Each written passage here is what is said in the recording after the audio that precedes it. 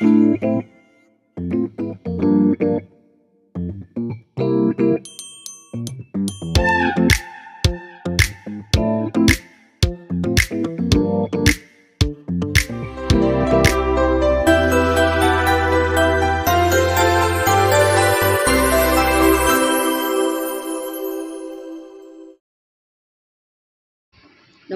दोस्तों राधे राधे मेरे blog channel में फिर से आपका बहुत बहुत स्वागत है। आई होप आप सब अच्छे होंगे। तो दोस्तों आज हम बनाने वाले हैं कान्हा जी के लिए ड्रेस। तो इसके लिए मैंने देखिए पट्टी ली हुई है और मैंने एक अस्तर लगाने के लिए वाइट कलर का जो क्रीम कलर का कपड़ा लिया हुआ है। तो मैंने पहले लंबी लंबी सी पट्टी मैंने आ, सिल लूँगी। देखिए।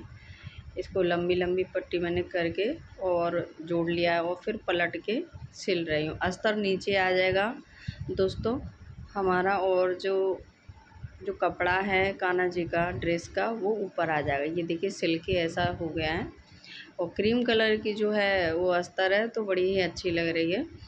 और दोस्तों, ये मैंने साढ़े तीन इंच इसकी चौड़ाई ली है। और अब इसकी लंबाई लेंगे। लंबाई कितनी है हमारी? तो ये लंबाई है हमारी।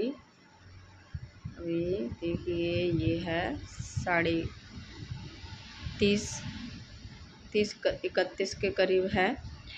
और अब इसको हमें क्या करना है, हम इसको प्लेट बना लेंगे। प्लेट बनानी है हमें ऐसे करके। जितने आपके कान्हा जी छोटे हैं या कितने नंबर के हैं, उसके साइज़ से आपको कमर की जो प्लेट है, वो हिसाब से बनानी है। तो मैं, अपने कान्हा जी मेरे चार नंबर वाले हैं तो मैं उसी के हिसाब से ये प्लेट जो बना रही हूँ। ये देखिए, ऐसे करके प्लेट हमें, मैंने तैयार कर ली है। प्लेट मेरी तैयार हो गई है। और ये जो ऐसे अस्तर लगा के बनाओ तो ये बाज़ार से जो हम ड्रेसेस लेते हैं, वो जल्दी उनमें बोकरम लगा होता है तो पूरे मंदिर में ऐसे वाइट वाइट सा हो जाता है। तो ये देखिए, तीन इंच है, साढ़े तीन इंच ये पट्टी है दोस्तों। ये ऊपर के लिए है और ये देखिए, ये भी, ये सात इंच पट्टी लंबाई है। तो ये चोली है हमारी तो इसकी पट्टियाँ हम तैयार करेंगे। ये दो पट्टियाँ मैंने ली हैं और देखिए, इनको भी सिल लिया है मैंने। अस्तर लगा के इनको सिलाया और और एक दूसरे के ऊपर रख के मैंने अटैच्ड कर लिया है इनको। और अब हम, मैंने इसकी कमर की जो पट्टी बनाई है एक, ये कमर की पट्टी को और हम, और उसको नाप के चोली को, और मैं इसको सिल दे रही हूँ। ये देखिए, कमर की पट्टी भी सिली जा रही है। और मैंने पिन लगा रखी है जिससे कि वो चोली जो है हिले नहीं। और ये देखिए, ये पट्टी लगा दे रही हूँ। इसमें भी मैंने वो लगाया हुआ है, अस्तर लगाया लगाया है उसी का, कपड़े का, जिससे मोटा हो जाए ये।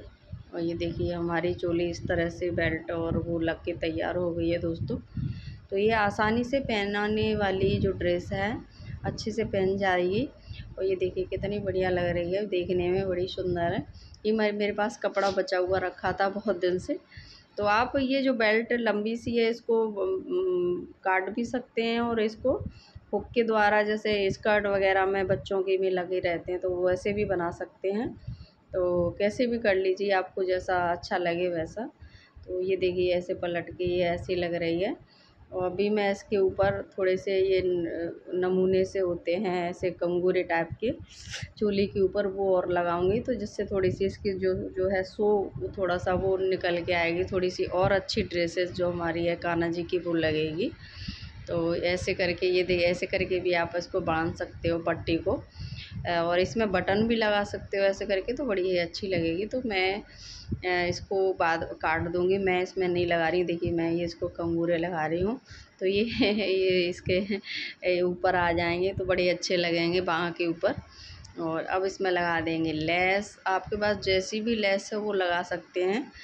रंगीन है, रंगीन लगा दीजिए। नहीं अधिकतर क्या होता है कि गोल्डन जो लेस होती है, वो हर एक में काम आ जाती है। तो मैंने इसमें इस्तेमाल किया है गोल्डन लेस। देखिए, गोल्डन लेस मैंने लगा दी है। और ज़्यादा मेरे को एक, एकदम कचर मचर सा हो जाता है तो मुझे ज़्यादा पसंद नहीं है। तो मैंने अपने हिसाब से इसमें लगाया है। देखिए, कितनी सुंदर ड्रेस बन के तैयार हो गई है दोस्तों। अगर अगर आपको नए हैं मेरे चैनल पे तो प्लीज़ सब्सक्राइब ज़रूर कर लीजिएगा। और देखिए कान्हा जी की ड्रेस में मेरा ब्लॉग चैनल है दोस्तों, इसलिए मैं जो भी है, कुछ ना कुछ ऐसे जो अपनी तरफ़ से मेरे जो घर में जो हमारे होता है, वही मैं डालती रहती हूँ।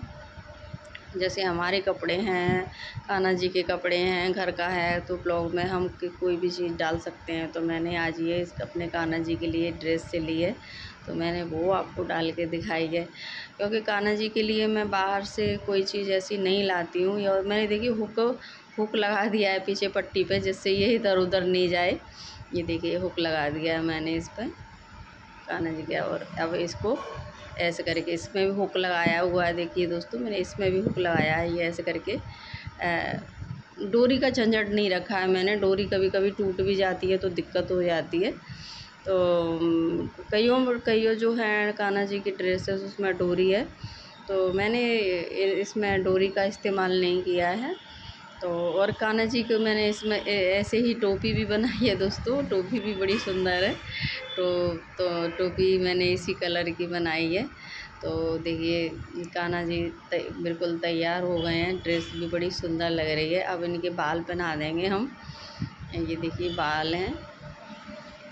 ये बाल मेरे पास और भी रखे हैं बड़े बड़े बाल हैं, पर इन बालों को मैं रोज़ लगाती हूँ। ये देखिए, ये टोपी है। तो मेरे कान्हा जी बहुत सुंदर लगने वाले हैं, नज़र नहीं लग जाए। दोस्तों, अगर मेरे कान्हा जी और कान्हा जी की ड्रेस आपको अच्छी लगी तो प्लीज़ लाइक करिएगा, शेयर करिएगा, कमेंट करिएगा। तो दोस्तों, मिलते हैं अगली वीडियो में। तब तक के लिए नमस्कार। राधे राधे तो प्रेम से एक बार बोल दिए, श्री राधे राधे